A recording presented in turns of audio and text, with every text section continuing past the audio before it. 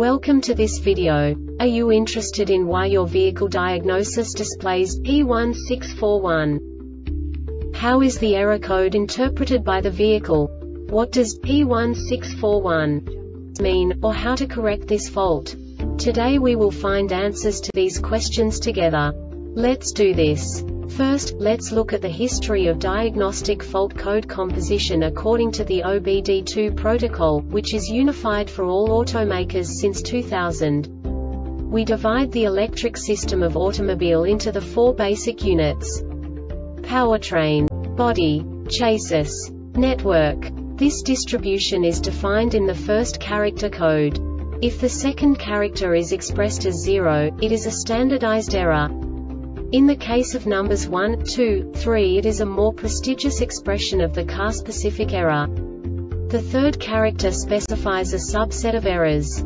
The distribution shown is valid only for the standardized DTC code. Only the last two characters define the specific fault of the group. Let's not forget that such a division is valid only if the other character code is expressed by the number 0. Our website airbagreset.sk produces useful videos for you. You do not have to go through the OBD2 protocol anymore to know how to troubleshoot any car breakdown. You will find all the diagnostic codes that can be diagnosed in a Chevrolet vehicles. Also many other useful things. The following demonstration will help you look into the world of software for car control units. You unbelievably can move the video a bit further. The error code is split into two bytes consisting of 16 bits. One bit is the basic unit that each computer works with. The bit has two logical states. 0, low level, 1, high level. By combining the first two bits, the basic character of the error code is expressed.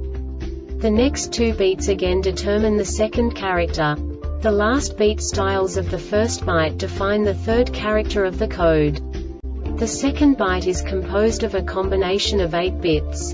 The first 4 bits determine the fourth character of the code. And the combination of the last 4 bits defines the fifth character. A single byte conceals 256 possible combinations.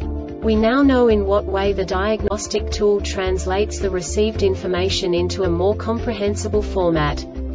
The number itself does not make sense to us if we cannot assign information about it to what it actually expresses.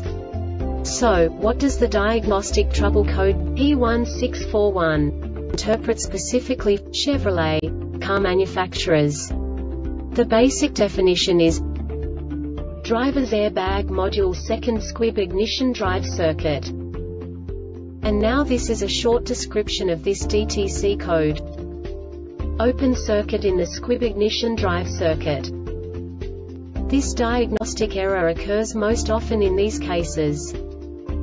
Malfunction of the SRS-ECU. The Airbag Reset website aims to provide information in 52 languages. Thank you for your attention and stay tuned for the next video.